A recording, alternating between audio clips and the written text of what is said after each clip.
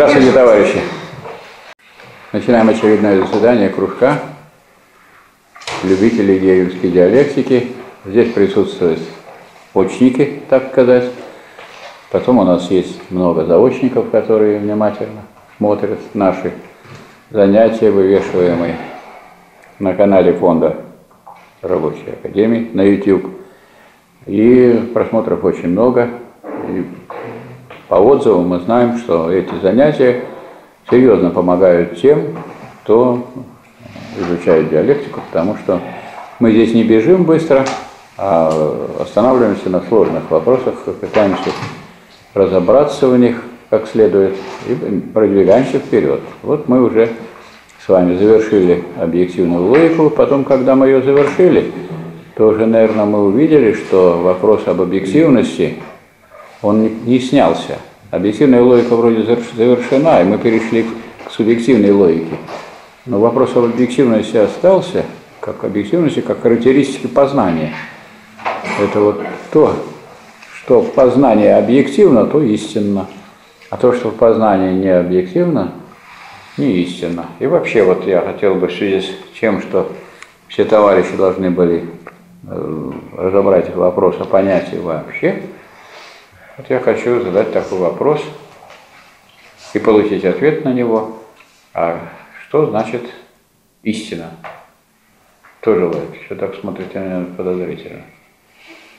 Зачем, зачем такие вопросы задают? Нет, еще бы про понятие бы спросить. Ладно, а про истину это хорошо. Что такое истина? Понятие соответствует объекту. А? Понятие соответствует объекту. Это Кант так говорит. Понятие, соответствующее объекту, да? То есть понятие соответствующее. Или соответствие понятия объекта. Или понятие, соответствующее объекту. Соответствие. Вот вы как-то так вот сразу перекрутили и переставили. Соответствие понятия объекту или Соответствует понятие объекта. вот, то есть вот именно вот это вот соединяющие объекты объекту или предмету. У вас вы не хотите сослаться на первоисточник? Взяли бы и зачитали. Может, кто-нибудь хочет помочь? Там предмет. Нет, так э, вот есть книга, вы берете и говорите, так вот там вот это написано. Я думаю, это нормально будет, если мы на занятиях кружка любителей еврейской диалектики будем ссылаться на главный труд. К примеру, я спрашиваю, откуда вы это взяли? Пока- Покажите. Причем, э, если бы это не было вот в этом томе, это есть в этом томе, это есть не только в этом томе, но в этом томе тоже есть. И потом как раз в таком разделе, который я просил подготовить.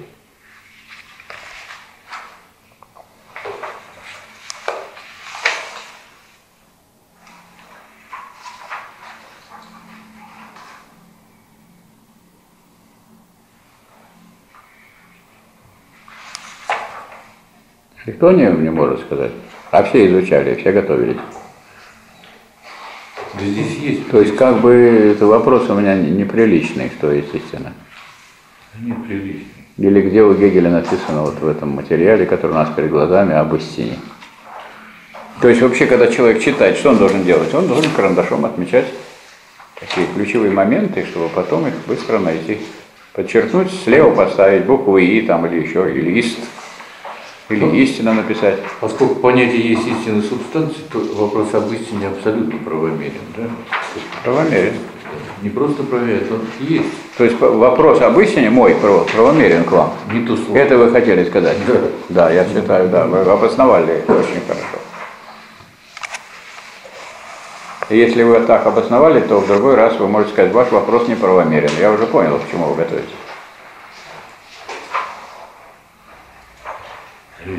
Ну вот, страница 20, 20 например, написано, когда Кант, критика чистого разума, страница 83, начинает обсуждать в отношении логики старый и знаменитый вопрос, что есть истина?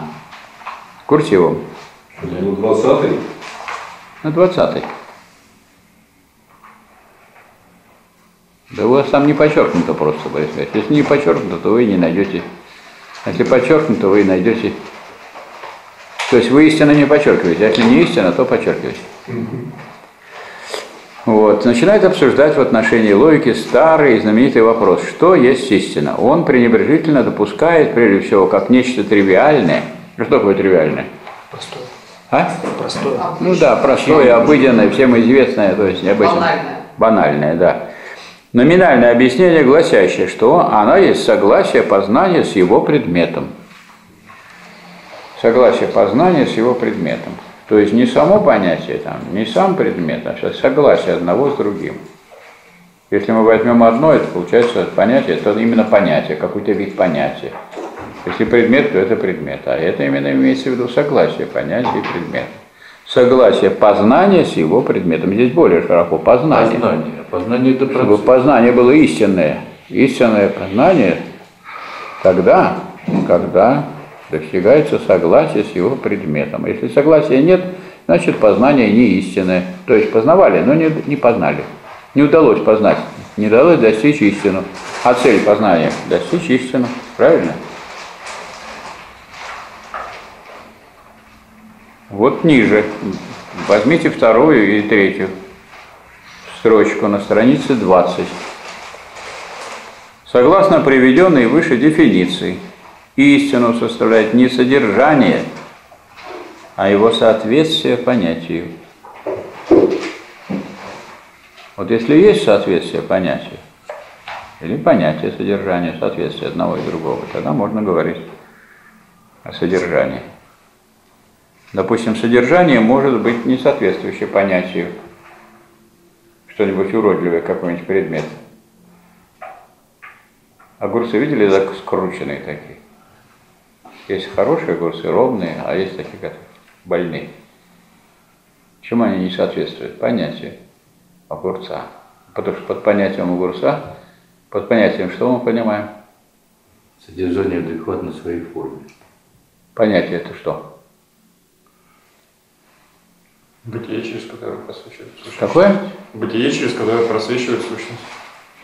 Ну, значит, такое, как через которое просвечивается, то есть соответствующее такое бытие, которое сущности соответствует, правильно? Это, это, это новое, есть бытие, истинная новое бытие. Какое это бытие? Первое бытие или второе бытие? Это бытие. Второе. Второе. Второе бытие. А чем оно отличается от, от первого бытия? Первое бытие совсем простое. В нем нет ничего. Отрицание бытия. В нем нет ничего. Это не отрицание бытия. Отрицание Бытие – это утверждение бытия. Евгений Николаевич, что вы говорите? Отрицание бытия – это ничто. Ну как вы так... То есть вы сразу это движение взяли, и вместо того, чтобы пойти вперед, вы ушли назад. Назад, на бытие наехали. Вы задом как бы Нет, подали первое. машину, нас задом. Первое. Логическую машину задом и задавили бытие. Понятие есть истинная Да я сущность. о бытие говорю первом. Первое бытие. Отрицание первое бытия – сущность. Первое бытие мы рассматриваем, оно простое. Оно переходит во что? Бытие. Простое. Су- Нет, оно первое бытие переходит в ничто. Что? В ничто оно переходит. Это оно не, не бытие переходит, а вот вся сфера бытия завершается переходом сферу сущности, а вообще бытие это переходит в ничто. Это чистое бытие переходит в чистое ничто, а не в нечистое ничто. Ну сейчас скажете в грязное еще. Вот Бытие рожденное. переходит в ничто, в становление. В становление, и поэтому вот здесь, вот, вот здесь вот, я чувствую, что вы не очень внимательно читали, здесь говорится, что бытие, бытие, а на самом деле есть становление. Ну, это вот мы, какой вывод должны сделать? Раз бытие переходит в ничто, да, переходит в становление, значит, бытие, это, реальное бытие, это какое? Это становление. А Ядро сущности. Никакого ядра там нету. Не надо такой категории ядро нету. Ну, да? нету, Это нету. вы если. Я пытаюсь если своими вас- словами, э, Нет, как вы хотите смысл. выразить, вы хотите сказать, что мы разгрызаем здесь орех диалектики ищем ядро. Белки. То есть, я вас обидел. Нет, я, я чувствую, что вы, вас не удовлетворяют эти вот категории, которые Гегель, они, вам кажется, что их мало, и они неточные. И вы как берете, главное, чтобы они круглые были, эти категории, тогда нашли ядро. Я пытаюсь на бытовом И, и тогда уже ядерная уже, диалектика, ядерная, сейчас взорвется. и говорить. Так, ну вот.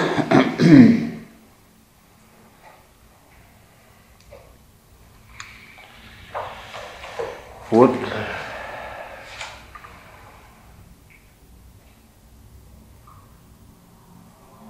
Так как логика есть наука об абсолютной форме, то это формальное, для того, чтобы быть истинным, должно иметь в себе самом некоторое содержание, адекватное своей форме. Опять вот это адекватной своей форме, соответствующей форме содержания. То есть истина – это соответствие, согласие понятия и объекта, согласие познания и предмета. Вот что такое истина. Познание это И не случайно Гегель тут снова об этом истине. Вот хоть я и задал такой вопрос, но я не понимаю, почему это воспринимается как подвох, потому что во многих местах в этом разделе, который я просил как раз изучить, прочитать, и говорится о том, что вот высказывая всяким положительным суждением, истинно, хотя непосредственно явствует, что ему не хватает того, что требуется определением истины, а именно согласия понятия со своим предметом. Страница. Страница 22. Ну, я вот советовал бы все-таки, вот, если вы работаете с книгой, то в книге надо подчеркивать важнейшее. Подчеркивать, отмечать на полях, ну, как- как-то себе помечать, о чем это, чтобы это не пропускать. Это серьезные же вещи. Дело в том, что вопрос об истине с самого начала идет науки логики. Помните, там он говорит, а что есть истина, там, когда решается вопрос, что сделать с Христом, который истину возглашал. То есть э, в самом начале своего произведения Гегель говорит, что вот надо снова возжечь огонь истины, потому что это потускнело вообще понятие, то есть этим не занимается, это вроде как уже ненужное дело искать истину.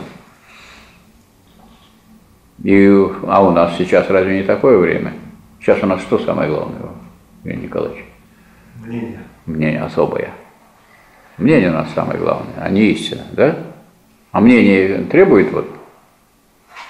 И о мнении тут тоже речь идет. Не нашли у Гегеля в этом разделе?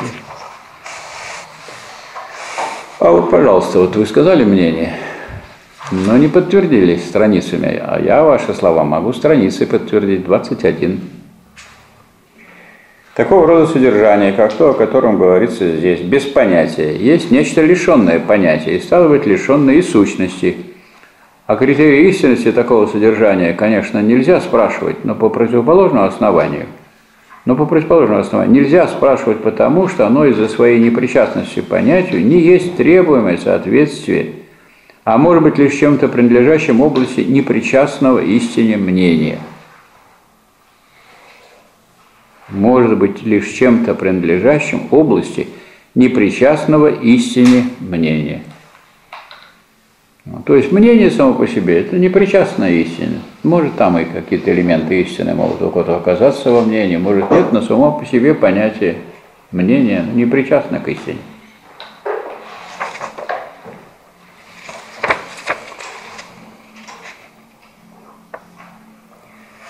Невозможным и несуразным оказывается именно желание облечь истину в такие формы, как положительное суждение или суждение вообще. Тоже говорится об истине.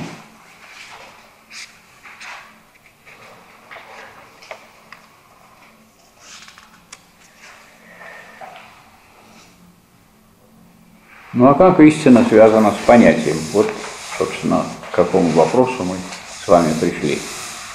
И это соответствует тому материалу, который вот мы должны подготовить. Как истина соответствует понятию? Значит, вот понятие должно соответствовать предмету. Или предмет должен соответствовать понятию. То есть предмет не вполне соответствует понятию. Вот самолет, который не соответствует понятию самолета, может легко упасть, потому что его не так сделали, как соответствует понятие самолета, как требует понятия самолета. Или вот как-то вот нам рассказывают, что каким-то образом не- непостижимым упали у нас так сказать, спутники по той простой причине, что почему-то запускали с восточного, а как отправную точку в программу заложили совсем с другого космодрома. Как такое может быть? И сколько надо выпить для этого? Как такое может быть вообще? Можете себе представить? Это же вот реальность. А? Забыли случайно. Забыли. Был, был случай, Где когда ракет- находится? ракету испытывали и дали ей координаты 000. Нет, это могло Они думали, что она просто вот полетит и и не полетит никуда, собственно говоря. Она полетела в координаты на планете. А вот то, когда были товарищ Сталин, товарищ Берия, то не забывали, потому что они могли не ракета не туда полететь, а головы не полетят не туда. Дело в том, что они Ну, могли программу прекрасно. засунуть, а программу же они не читают или там в кодах не Ну, понимают. по себе, что ли, это По себе, пусть по своему. Знаю. Все там читают. То есть Программа не, не читает. не задумывать программу. а Там Не координаты читают, не не все. работают. Легко и непринужденно. Сейчас же никто в компьютерах-то до конца ничего не понимает, верно? Правильно, вот тут один мужик говорит, какого фамилия? Лосев. Ну, Николаевич, не уходите далеко. Да, Вот если я поставил вопрос о- об истине, где тут истина, в том, что вот в качестве задания дано, и выяснялось, что а где оно? Никто не читает, никто не бы занимается. спросили, сколько ему нужно выпить для того, чтобы совершить такую Да.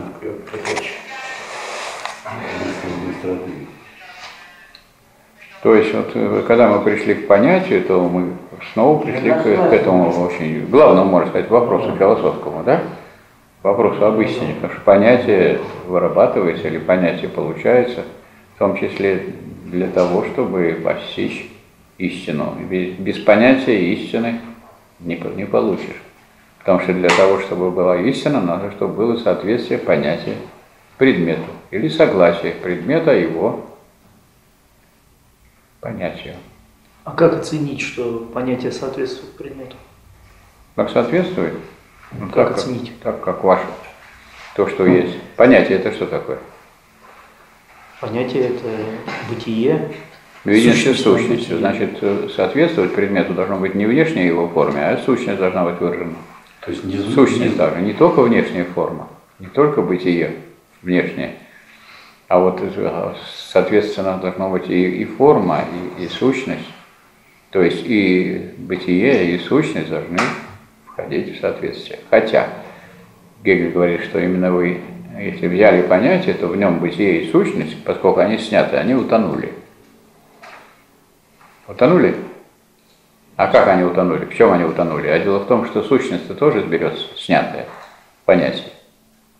Ведь за сущностью идет понятие. Первая книга учения о бытии, вторая учение о сущности. Значит, недостаточно сказать, что когда мы говорим о понятии, тут вот должно быть соответствие вот это, этой бытия, сущности. А дело в том, что вот понятие должно соответствовать. Понятие должно вернуться к бытию. Но к какому бытию? У нас было простое, не- неразличимое бытие, которое переходило во что-то другое. А вот из этого материала, который здесь изучаете, читаете, следует другое, что вот никуда это не переходит. Вы им получили теперь такое бытие в результате снятия сущности. Это же второе отрицание. Раз второе отрицание, значит, это снятие сущности и возвращение к бытию. Но к какому бытию? К такому бытию, который не переходит в ничто, в котором, в котором все то, что было, все содержится. То есть в понятии все содержится. Все предыдущее содержится. И поэтому, когда мы говорим о соответствии понятия объекту, или объекта понятия, и то, и другое имеет смысл. Потому что если объект утратил, предмет утратил некоторые черты своей сущности или бытия, то он не истинен уже сам предмет. Правильно? И наоборот, если понятие не выражено, то, что относится к самому предмету, по, по бытию или по сущности, то, то есть не выражено это в понятии, значит это не истинное понятие, то есть истина не достигнута. Ну, то есть и в ту, и в другую сторону. Дальше это потом, вот к концу этой книги, развернется в две идеи. Одна идея теоретическая, идея познания. Это там строго, так сказать, вот идея должна выражать отражать предмет. И идея практическое преобразование. А практическая идея включает в себя теоретическую.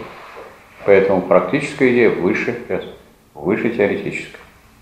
Почему? Потому что она содержит в себе эту самую теоретическую идею. Так. Можно свою лепту попытаться внести? А? Попытаться лепту свою внести можно? Пытайтесь. Вот я как понял, что такое, что я не понимал раньше, что такое понятие. Вот Да. понятие это не то же самое, что слово. Слово это знак предмета, может обозначать какой-то предмет. Но слово не есть понятие. Нет, слово это не знак предмета. Вот сразу вы начали объяснять и почему-то разошлись сразу с Гегелем. Знак у вас только имя собственное. Вот Евгений Николаевич, вот и слово Евгений это знак. А, в этом А вот Николаевич уже не знак, потому что это ваш отец. А вот Евгений, когда вам давали, может, мог быть Петр, может быть Степан, может быть Иван, может Григорий. Ну, Это знак. А слово не, не, не- ну, не для знак. вас так, а для меня слово, слово, слово, оно за- закрепляется Слово это за определенным содержанием. Нет, это образ, а знак не образ. Знак это вот на вот повесили значок. Я вот сниму этот знак и все. И Это нет этого знака. Знак это то, что навешивается на предмет. Внешним образом, ни в какой связи с внутренней сущностью, содержанием не состоит. поэтому на разных Вы языках хотите понятия лепту, в лепту внести, и тогда я вот и обращаю ваше внимание, что лепта это самая мелкая монета, какая только есть, вы ее внесли. И при этом еще она стертая оказалась. Спасибо за товарищескую критику. Пожалуйста, обращайтесь еще, у нас его много. Лепт у нас нет, а, а критика есть. Да. Понятие есть истинная субстанция. Значит, вот э, я думаю, что нам нужно договориться, как дальше действовать. Мы пришли к очень сложному предмету, поэтому то, о чем я говорил, вот я хотел бы установить как некую норму. Значит, каждый, кто занимается в кружке, при подготовке к очередному занятию, внимательно все читает, подчеркивает то, что является самым важным, подчеркивает, помечает, причем не таким знаком, который, не знаком, который никак не связан с этим содержанием, а лучше бы связанным. Если про истину идет, можно букву «и» поставить. Или как вы понимаете, что вот на истину больше всего похоже? Лепта у вас, может быть, больше всего похоже. Деньги. Выше в объеме. Это фигура речи, как бы, понимаете? Понятно. Кто готов на решение нашло уже А? фигура речи. Понятно. Нет, ну, Вот, я так, не что, такой грамотный. так что вот такая просьба это все сделать, и э, можно было, того, вот- что болит? можно было вот одни, вторые, третьи, четвертые вот отмечают важные моменты, которые желательно нам не упустить. Для нас самих и для других, кто слушает, и кто смотрит, что читает. Что Это очень важно, это очень существенно. И, так сказать, вот это еще как у военных будет, карту поднять. Что они делают? Они берут карту и начинают там рисовать значки, то все.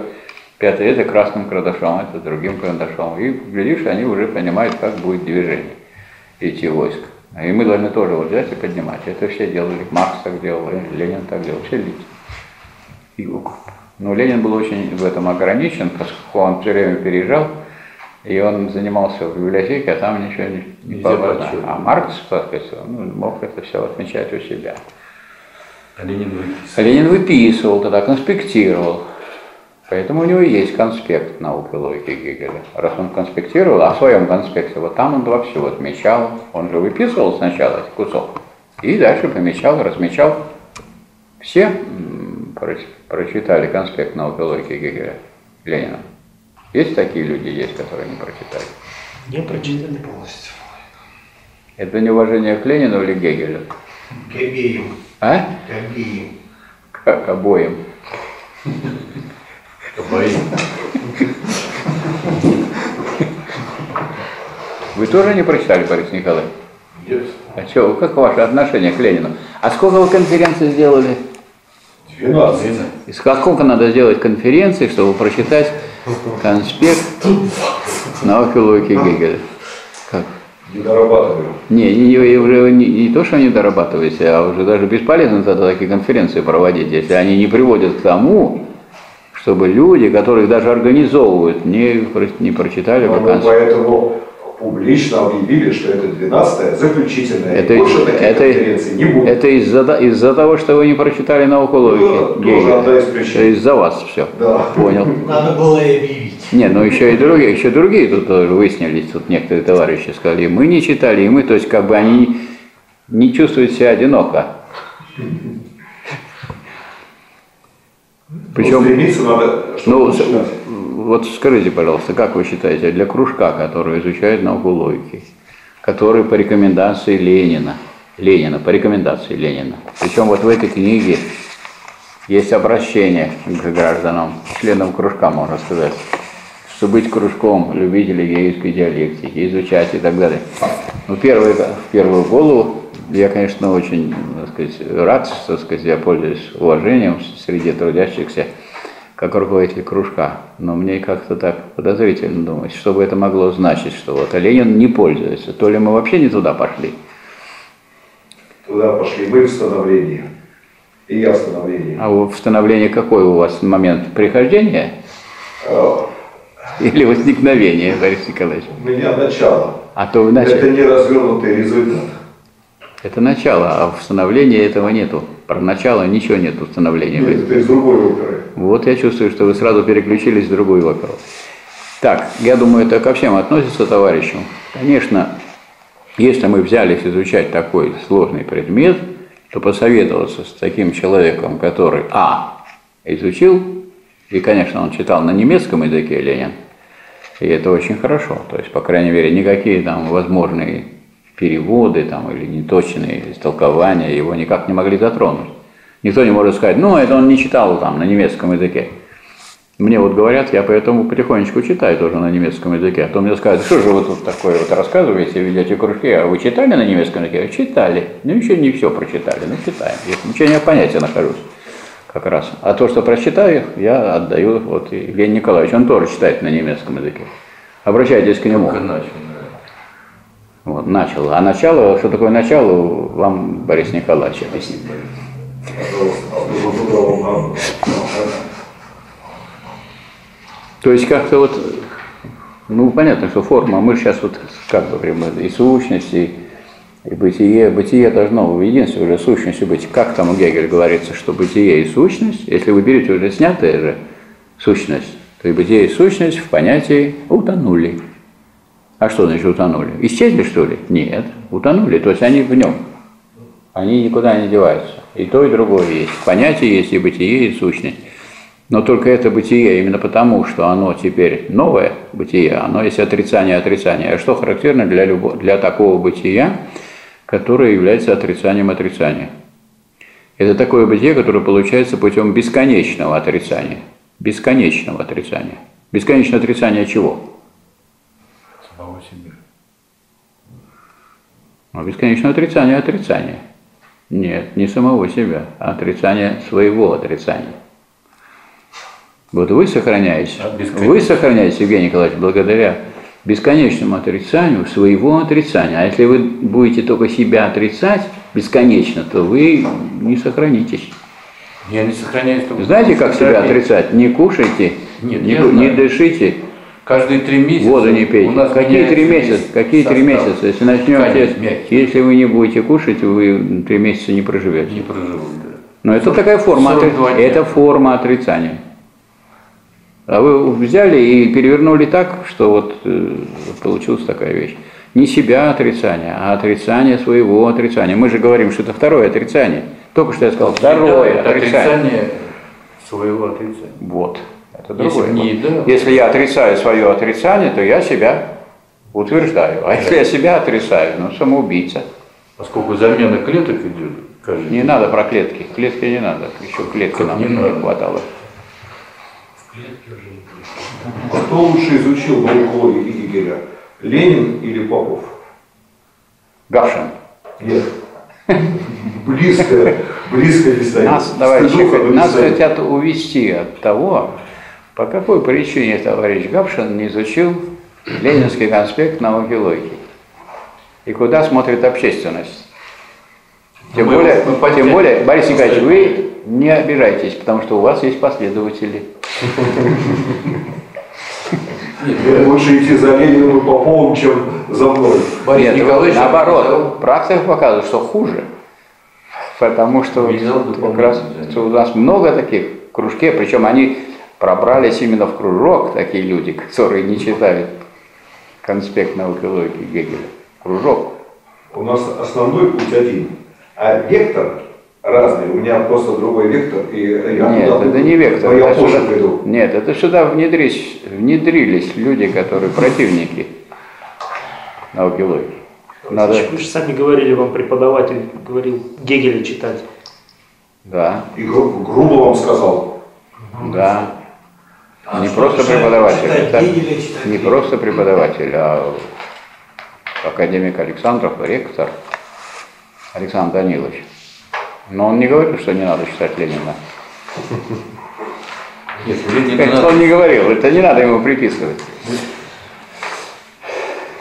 Значит, все, что вы нашли стоящим вот таким, вот какой бы ни был Гегель, у него есть проходные какие-то слова, где он критикует Канта, что-то еще разъясняет, другие есть. А есть вещи такие принципиальные, которые выделить нужно. Причем, наверное, вы заметили уже устройство такое, что когда начинается какой-нибудь раздел или, или том, или глава, что сначала? Идет такой планчик. И если люди на этом останавливаются и сидят, читают, пытаются понять, они никогда не поймут. Почему? А потому что это и нельзя понять. Потому что если это план, тут нет доказательства, тут нет выведения, а потом идет уже выведение. То есть если вы застряли, не пошли дальше, поэтому идти надо вперед. Идти надо вперед, и тогда вы будете различать, где он только намечается, план дальнейшей работы, а где, собственно, идет выведение. И вот это есть вот э, то, что мы сегодня изучаем, это вопрос о, о понятии вообще. То есть специально Гегель останавливается на этом понятии, чтобы вот не так получилось, что вот понятие это просто снятая сущность. Это снятие всей сферы сущности, а сфера сущности включает в себя всю сферу бытия. Значит, мы возвращаемся к бытию, но к какому бытию? Уже не к такому простому бытию, которое было. И нам уже не надо так рядом что-то смотреть. У нас не может быть перехода, вот об этом идет речь, что не может быть перехода от бытия в ничто. Никакой, никакой тут не будет перехода какой-то границы. От этой границы не будет перехода к какому-то другому конечному. Этого ничего уже не будет. Потому что нет уже вот такого бытия. Это бытие бесконечное, которое бесконечно отрицает свое отрицание. Понятие – это отрицание сущности, а тем самым отрицание, которое возвращает к бытию, в котором содержится все. А раз все содержится, значит уже снова в их границы не попадете.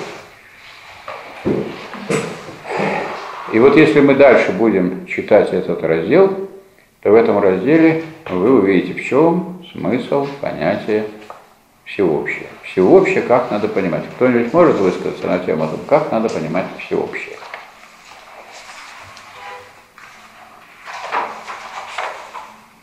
Все сразу так читать стали читать. Ну, всеобщее. Всеобщее это значит тотальность. Одна из трех тотальностей. О как. Да, три момента. Всеобщность, особенность. Учитесь, Евгений Николаевич, он взял и что-то сказал. Надо Евгений Николаевич по Гегелю. Ну, я по Гегелю зачитываю. Значит, вот, как вы, наверное, заметили, из структуры книги, из того, что идет дальше за вот этой статьей, речь пойдет о всеобщем, об особенном и единичном. Какое, как понимается всеобщее? Всеобщее понимается не так, что есть отдельно всеобщее, есть отдельно особенное, и есть отдельно единичное. То есть, что делает наш метафизический, не хотел сказать разум, рассудок. Что рассудок делает? Он разделяет то, что неразделимо. Вот если вы внимательно будете читать про всеобщее, особенное единичное, вы обратите внимание на то, что я сейчас скажу. Что всеобщее включает в себя и особенное, и единичное. При этом, то есть нету трех. а есть одно. И как это одно называется? Понятие. Вот это всеобщее, это вот понятие, которое предстает в нашем Это цикл. рассмотрении. Вот Некий цикл, на самом Что? деле. Это некий цикл, это порождает потом Это никакой не цикл. Образ спирали. Это не цикл, никакого тут цикла. Цикл это круг.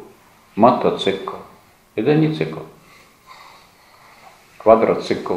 Я Нет, цикл спирали. а Нет тут никакой ни цикла, ни вас спирали. Тут есть бывает. понятие, и в это, это понятие включает в себя свои определенности. Вот понятие надо понимать, прежде всего, как всеобщее. Вот мы начинаем его разбирать, понятие это всеобщее. Что значит всеобщее? Вот вы как всеобщее кто? Евгений Николаевич. Человек. Ну, так вы понимаете, что вы человек. А цикл где тогда? Куда вы цикл? Как про вас Цикл- так цикл не надо. Нет, цикл про а меня про меня так цикл. Нет. Цикл про меня тоже надо. что все ясно. Свой человек, это звучит гордо достаточно. Так. Значит, всеобщее. А что такое по отношению к всеобщему особенное? Можете сказать? Раз вы человек. Отрицание всего. А? Отрицание всего. Особенно это Отрицание всеобщего. Отрицание всеобщего это что? Что- Вы отрицание как понимаете? Там вот э, именно отрицание написано у Гегеля или написано немножко по-другому? Чуть-чуть по-другому и близко к тому, что вы сказали. Определенность пишет.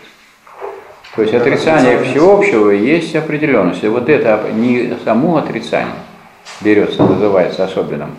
Особенным называется определенность всеобщего. А определенность всеобщая это, это всеобщее как особенное.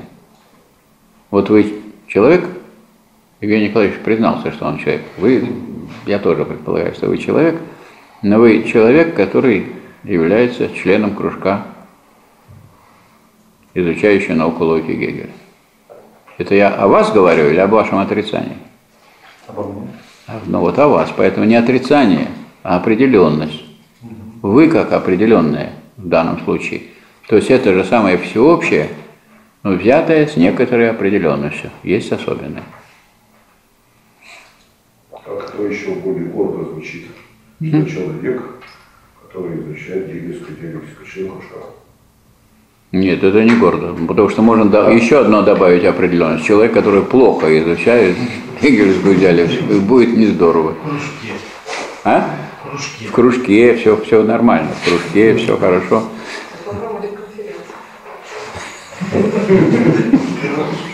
Нет, особенно, говорю, женщина тоже человек, правильно? Нет, женщина, женщина нашла в мужчине положительную черту. А вы не на это обращаете внимание. Вы не следите за логикой. Нет, я, Евгений Николаевич, я об особенном говорю. вы следите за логикой, пожалуйста. Того же э, единичное. Итак, а единичное что такое? Отрицание, отрицание получается.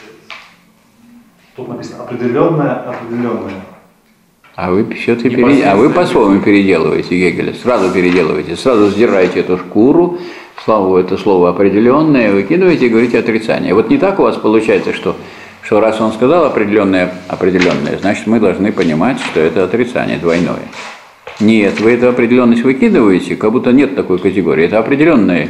А почему надо брать определенное? Потому что определенное, определенность выступает, это отрицание, выступающее как положительное. Как положительное выступает. Вы как член кружка, это что, ваше отрицание? Нет.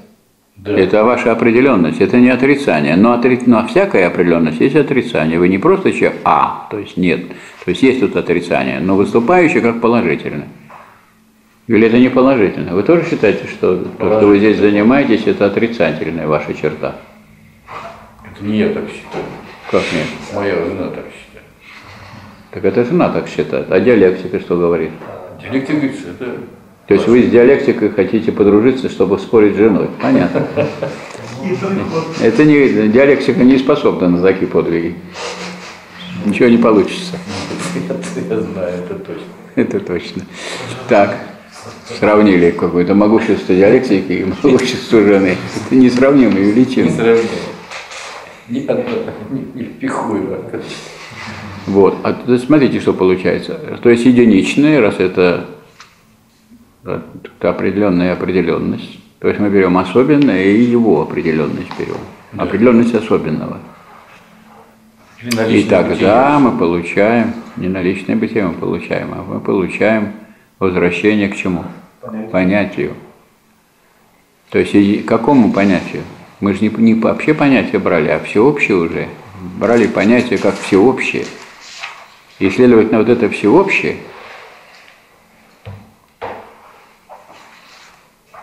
то есть единичное у нас получилось тоже всеобщее. И вот это над чем и бьется Гегель здесь, потому что вся философия предшествующая, она их жестко разделила формально, логически. Есть всеобщее, есть особенное, есть единичное. А Гегель что показывает? Это момент всеобщий. Он говорит, вот и пример даже приводит. Вот я так чувствую, что товарищи не подчеркивали эти места или не прочитали. Что вот если есть вид какой-нибудь животных, допустим, есть род, а есть еще род. Так вот эти роды, это что, это не животные, что ли? Это не это животное, а или вид животного мы взяли? Это это же самое животное, но как вот это род этого животного. Вот это один род, это другой. Или люди, разные роды, племена. Это эти- это же люди, а не что-то другое. Поэтому это не, не так обстоит дело, что особенное – это вообще другая категория. Это, это всеобщее, но, как, но взятое как особенное, с определенностью с одной. Интересно, ну, на Мадагаскаре есть такие животные, которые там обособленно жили, но они... они Зачем оно на Мадагаскаре? Когда мы берем вот Ев- Евгения Николаевича Хорошего, здесь вот он, Они берем его, и он участвует в работе кружка. Это ваше... Вы от того, что вы участвуете, Евгений. Николаевич, это, это же ваша определенность, что вы участвуете в работе кружка. Вы член кружка? Я стараюсь. Ну, раз стараетесь, значит, это ваша определенность? Ну, От этого не перестаете вы быть хорошим, Евгений Нет. Николаевич? Нет? Ну, так это значит, что ваша определенность – это вы в некоторой определенности. Вы же в некоторой определенности. И вы выступаете не только как всеобщее, но и как вот такое особенное. А если еще вы и читать будете, и подчеркивать, ой, так вам цены не будет. я все не то подчеркиваю. Вы? Вот А я это- каждый раз прихожу на занятия кружка. А это понимаю, правильно. что я подчеркиваю не то. Но все равно вы, а делаете правильно все равно. Сначала вы подчеркиваете не то, а как вы, с чего? Начать, начать с какого-то бытия. Уже начинает у вас карандаш, значит у вас карандаш есть. Вы уже, значит, карандаш у вас заточен. Тоже как вы будете подчеркивать, если вы не заточили? Есть люди, у которых карандаша, а у них нет. Вот сейчас спросим, у вас есть карандаш с собой, Борис Николаевич?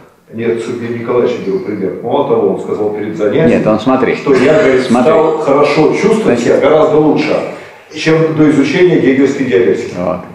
Смотри. Гораздо лучше стал чувствовать. Так он потому что лучше, что потому что он карандаш с собой берет. Он даже когда подчеркивает не то, все равно лучше чувствует. подлинный. А у вас карандаша нет. А у Бориса То есть вы не подлинные. смотри, как у вас какие этапы. Сначала Борис Николаевич не брал книгу на занятия. Теперь книгу он взял. Теперь не взял карандаш. Вот те- покажите мне в следующий раз карандаш, может он не заточен будет. Чтобы... А почему он не заточен? Потому что если его заточить, так это надо же где-то будет подчеркивать. А потом, если почернешь не там, вот один признался уже, чистосердечное признание. Вам же тоже придется признаваться. А дальше скажешь, что же вы подчеркнули не то, это вы чувствуете просто заранее, понимаете, что а речь пойдет о, о вас, о всеобщем. То есть ничего, тут все это идет разбирательство человека одного.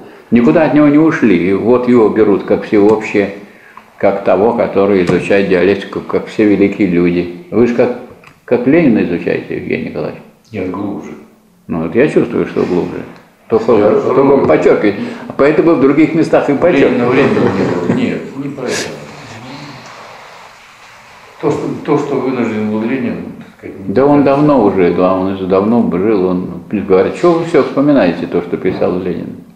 Чего вот эти математики вспоминают теорему Пифагора? Я не знаю, давно же умер этот Пифагор. А они все вспоминают и вспоминают. Это все из-за всеобщего, потому Да. что теорема Пифагора это уже понятие. Это уже не, Да. не хухры. А единичное, вот самое это вроде бы как Казалось. самое разделенное было, всеобщее и единичное. Это всеобщее, а это единичное. Это одна единица этого всеобщего. Да. А и особенно единичное во всеобщем есть. Вот яблоко, если понятие. Что сюда включается? А все яблоки. Вообще все яблоки. И особенно, и какие-то виды, там зимние яблоки есть, летние яблоки, осенние есть яблоки. Есть яблоки кислые, есть яблоки сладкие, есть разные сорта и виды, и все входят туда. И вы сначала возьмете роды этих самых яблок, длительного хранения и не терпящие длительного хранения. Так? А потом вы возьмете из этих самых яблок, которые длительного хранения, какой-то определенный сорт, это будет что? Это будет уже единичное яблоко. Единичное в этом смысле, что вот второе отрицание, это снова яблоко. Но это то яблоко, которое является всеобщее. Яблоко же остается. а это яблоко. Единичное, это когда уже съел его, тогда оно... Когда уже съел, уже нет его. Вы все время нас, вы все время нас хотите уничтожить всякое бытие. То самоубийством хотели заняться, что не будете вы тогда, самоотрицание. Не свою какие-то определенность отрицаете, а самих самого себя. Вы не, не японский самурай, Нет. А вы просто забыли с собой принести, чем это делать. Катана? Нет. В следующий раз говорит, раз я не, не прочитал А на- науку логики. Нет, не надо, говорит, сам, вы как настоящий самурай должны сами себя зарезать. а друг должен отрубать в это время голову. Тут, там всё А кто у вас друг? Гуманника. Борис Николаевич, в следующий раз принесите. У него новое мышление, новое понятие, как у Горбачева. Это у вас мышление. У нас мышление. Он меня, он меня назвал. Значит, вот, Земляным вот я хочу сказать, что вот это вот то, о чем мы сейчас говорим, о том, что вот единичное, э, всеобщее, особенно единичное, так соотносятся друг к другу, соотносятся как, как единое понятие, как всеобщее. Все это во всеобщем. Нету никакого перехода, нету никакой границы. Это все в прошлом, это все учение о бытии. Мы зачем это прошли, чтобы мы пон- поняли, что этого нет уже? И, и отрицанием это было, вот все отрицательное, вот все вот вы нажим- нажимали. Чувствуется, вы учение о сущности читали, там отрицание, отрицание, все отрицание, рефлексия отрицания. Но мы же вернулись уже, все, мы вернулись снова к бытию. Ну какому? В котором все это есть, в нем, внутри. внутри. Тройная точка в физике, знаете, да? Нет, ну не так, не надо сюда приводить из, из области формальной логики примеры, потому что это ничего нам не дает, только огрубляет и ухудшает. Такого не, нету ничего примера, потому что примером вот того, о чем мы сейчас говорим, является вообще все. Мы чем занимаемся? Всеобщим. Категория философии всеобщей. Это относится к чему? Раз ко всему, а вы три точки сразу Ну, там притащили. через наличное бытие все правда, через определенность. Я почему пытаюсь привести Вы нас в пример. прошлое, в прошлое хотите вернуть назад. А вернуть назад. Те, кто хотят нас вернуть назад, кто такие? Ренегат. Ренегаты, да, ре- реакционеры, реставраторы. Приходится. Вот задача. Консерватор. Что плохого в консерваторе? Надо же сохранять накопленное. Так, еще я хочу спросить товарищей. Как вы понимаете, вот тут говорится о положенности. Истинной субстанциальности, пишет Гегель на странице 23. Видите, вот мы тут все три страницы с вами сегодня разбираем. На странице 23. Истинной субстанциальности оказалось субстанциальное тождество, которое есть равным образом и только положенность. Положенность курсивом. Вы обращайте внимание на то, что у Гегеля выделение курсивом есть. Есть.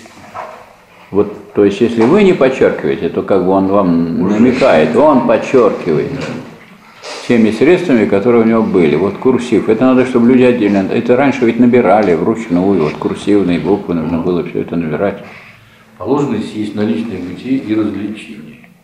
Да. Положенность есть наличное бытие и развлечение обязательно. То есть развлечение, то есть, то есть это вы берете то, что не является другим, иным. То есть вы берете то, что вы берете с отрицанием. Вот Владимир Александрович вот сидит в Кучук, а он сидит на занятиях кружка. Но все понимают, что одно дело Владимир Александрович, а другое дело кружок. И хоть они близки, и он на занятиях кружка, и член, и участник, но все равно это од- одно дело Кучук, а другое дело кружок. Хотя это одно общее дело, но различать-то надо. То есть это положенность. Положенность в том смысле, что нельзя вот сказать, о чем-то как о самодавлеющем, что нет ничего другого. Положенность означает, что есть еще и развлечение. Уже сидит, кто же его положит. Положенность – это значит, что вы друг Гавшина. Вот что такое положенность. Не просто Хорошев, а друг Гавшина. Тогда вы уже беретесь как положенность. Я, я думал, что он мне друг, а он меня Горбачевым. Тогда вы не, не друг Гавшина, все равно положенность по-хорошему будет. Все равно будет положенность. А когда просто вот Хорошев, это вот нет ничего, никакой положенности. А попробуй сейчас просто удержись. Все равно вы чей-то друг. Поэтому никак вы не... Каждый думает, что он просто есть, только что вы про жену говорили. А почему? Потому что вы положенность. Если, если говорят муж, это что значит? Жена есть. То есть это указание на развлечение. А если говорят жена, значит муж есть. Поэтому это кажется, что вот если вам вы будете отвечать, жена это жена, это получится ерунда, тавтология. А жена это значит, что муж есть.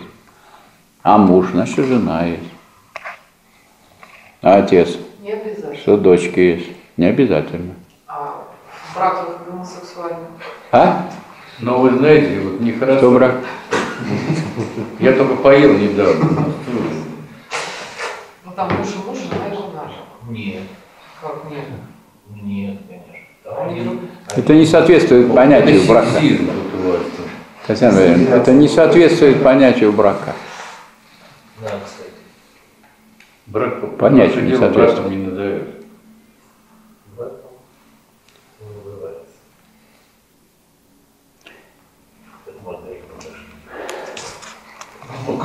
И вот обратите внимание, вот это внимание, вот на странице 23 написано, эта положенность образует собой различие понятия внутри его самого. Вот то, о чем я говорил.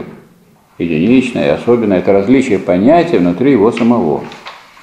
Его различие, ввиду того, что оно непосредственно есть в себе и для себя бытие, суть сами все понятие целиком. Все, это здесь ее, да? А вот каждое из его, каждый его момент, это все, если это момент, он же все понятие Здесь целиком. всё, да? Да, Потому что я тут вот в этом месте. все понятие целиком. Они суть всеобщие в своей определенности. Всеобщие в своей, это всеобщее, но в какой-то определенности, в своей определенности. И тождественны со своим отрицанием. Когда вы говорите положенность, положенность означает, что они тождественны с отрицанием. Я как, как, как- Почему они тождественны со своим отрицанием? Ну, они отрицание, если это определенность, то это отрицание всеобщего, правильно? Но раз они понятия, то они тождественны со своим отрицанием, то есть они возвращаются к всеобщему. Не забывайте, что вот это особенное – это всеобщее. Не забывайте, что единичное – это всеобщее. Но особенное – это отрицательное как определенность, а единичное – это, это двойное отрицание, это возвращение к всеобщему, но такое всеобщее, которое является единичным. Поэтому в других местах или в другом месте Гегель говорит, вот треугольник. Это что такое? Это единичное, треугольник, и геометрическая фигура в то же время. Всеобщее. Всеобщее, Это да. геометрические фигуры, и Я невозможно оспорить. А? Я особенная, поскольку три, три угла. Я привожу пример Гегеля. Не то, что у вас написано, а у него. Это единичное является не особенное оно в данном случае. Не особенное, потому что оно как бытие здесь берется. Как отрицание. Отрицание. Какое же это особенное? Отрицание первое дает вам особенное, а здесь второе отрицание. Конкретно берется треугольник. Треугольник не любая геометрическая, а вот геометрическая фигура была бы некоторым вот отрицанием первого. Вот здесь, значит, все. Вот это очень, это очень важно, потому что вот если мы это вот с вами усвоим, мы с вами уже не будем в своем понимании совпадать с ошибочным представлением, самым, которое самым широким образом распространено. Самое широкое распространение это как получило разделение единичного, всеобщего, особенно. Формальное деление, разрубание одного единого на части. А на самом деле это все развлечение внутри всеобщего. А всеобщее надо понимать в каком смысле всеобщее. Даже вот очень похоже на всеобщее, то есть как будто это все едино. Всеобщее это то, что это то, что в себе содержит. Всеобщее это не то, что от всего а, абстрагируется, а наоборот. Всеобщее это то, что все включает. Если от чего-то абстрагируюсь, и вот он здесь, Гегель показывает, чем отличается абстрактно всеобщее от конкретно всеобщего. Абстрактно всеобщее от всего абстрагируется. Э, Как это делается? Это отрицается это, это, это, это, это, все отрицается. И вот эта совокупность всех отрицаний дает нам эту абстракцию. Но раз абстрагируется от всего, оно связано со всем. И вот формальная логика это не обращает на это внимания, не видит, а диалектическая логика видит, что раз оно связано со всем, вот оно этим отрицанием каждого, и это каждое себя тем самым включает. Даже абстрактно всеобщее при правильном понимании является конкретно всеобщим. Потому что только тогда, когда, э, когда вы понимаете, вот, что вот отрицание состоит в присоединении, но если я вас отрицаю, я к вам же обращаюсь. Вот видите, вот я больше всего дружу с Евгением Николаевичем, я больше всего сегодня разговаривал с ним. Это не важно уже, как мы там разговаривали. Но факт тот, что вот у нас самый близкий контакт, так? Он и сел-то рядом, чтобы поговорить. А некоторые пришли как бы вот из, Без карандаша. из карандаша. Не будем прямо показывать, потому что если Нет. прямо будет единичное. Да. А мы остановимся на всеобщем, на особенном. Что некоторые пришли Отсутствие карандаша. на отсутствие карандаша. Книгу принес, карандаш не принес. Потом принес карандаш, не зачинил. А потом оказалось, что карандаш плохой, там это, когда начинаешь этой бритвой, оттуда высыпается графит. Тут много еще ступеней, еще очень много ступеней. Это вот и есть Значит, само э, понятие я хочу сказать, да, это вот и прямо написано. Да, Прямо написано. на 23 странице, Да, на 23 во странице. втором абзаце, в начале. Да.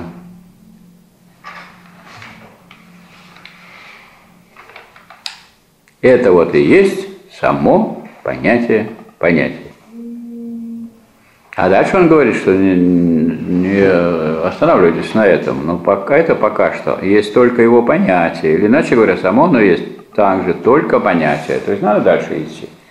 И дальше будет его развивать. А вот когда суждение будет об этом понятии, о всеобщем, вот это и будет суждение. И тогда мы переходим к этим формам суждения, заключения, которые в логике есть, и логикой занимаются люди формально, не видят этой связи. Уже не видят, когда разбирают суждение, потому что роза есть растение. Это что значит? Это что? Это тождество? Какое тут тождество? Роза есть растение. Вообще-то говоря, направлено здесь. Если мы, если мы на этом остановимся, роза есть растение и все, то Это получается, а растение есть роза, можно сказать тогда? Ну, Нет, про это нельзя. растение, про которое Нельзя. роза, можно сказать, что растение есть роза. Нарушение формальной логики, Есть? не только диалектической. Нет, это не нарушение формальной логики. Формальная логика вообще, это формальная логика просто не замечает этого нарушения. Потому что роза есть растение, означает, это вид равенства, это же форма тождества, правильно? С точки зрения диалектики тождество есть тождество различного. Одно дело растение, а другое дело роза. Роза отличается от растения тем, что оно не роза, или тем, что оно Не растение. не растение. Вот роза есть растение. Да, это Роза есть растение. Так она отличается от растения, это роза. Тем, что она не роза, что есть еще не роза растения. Или тем, что она не растение. Нет, это растение, но как роза. То есть это же растение, это всеобщее, но как роза. То есть вы берете единичное, но как Роза особенная, а единичная это конкретная роза. Ну, можно и так считать. Можно, если роза. Вот, и это зависит от того, какую вы розу берете. Вы можете, если вы берете, не берете растение. конкретную розу, а о розе говорите как в виде растений. Так? Как, или как род растения берете роза. Тогда да, это, это будет особенно. Это будет особенное. А когда вы конкретную розу, вот она уже у меня, это уже единичная роза. Но она же роза. Она и роза, и она и растение. То есть единичное это тоже всеобщее, но взятое как в определении единичного. Как отрицание отрицания. А вопрос можно? Можно. Скажи, пожалуйста, мир дискретен или непрерывен? Ответ можно? Да. Мир действительно непрерывен. И то, и другое, да? Спасибо. Почему и то, и другое? Вы их взяли и разделили. Я нормально сказал, я и, и, а вы и то, и другое, и развели. Зачем вы так сделали? То есть дискретен. И непрерывен. Это характеристики одного, Это и, того, это одного и того же мира. Если бы Одного и того же мира. Он и и это тест такой, ну, диалектичный. Настоящий человек диалектик? Он Я думаю, надо, я думаю, надо себя и нас освободить от всяких примеров, не имеющих прямого отношения к, к этому, потому что они нас уводят. А что требует занятия науки логики? Сосредоточение. Вот мы сосредоточились на этом. Значит, вот задание на следующий раз. Вот. Остается, значит, желательно перечитать вот этот раздел о понятии вообще, как выяснилось, что сегодня много тут можно обнаружить интересного. И это интересное надо отметить, подчеркнуть. А дальше начать первый отдел, субъективность. Вот тут есть всеобщее понятие. Сначала идет планчик, потом пойдет особенное понятие, и потом пойдет понятие единичное.